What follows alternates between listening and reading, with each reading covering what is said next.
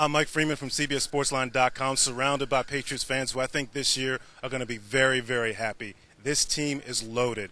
They are the most loaded, best team in the NFL by far. Best coach in Bill Belichick, best quarterback in Tom Brady. Now you add Randy Moss into that mix. Just remember, last year, this team almost went to the Super Bowl with very average talent at wide receiver.